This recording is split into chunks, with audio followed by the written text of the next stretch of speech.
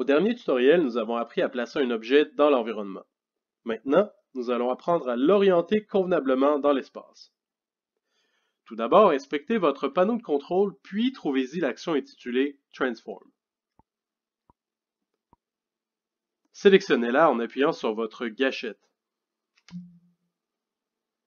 Une fois l'action sélectionnée, pointez votre objet, puis appuyez sur la gâchette.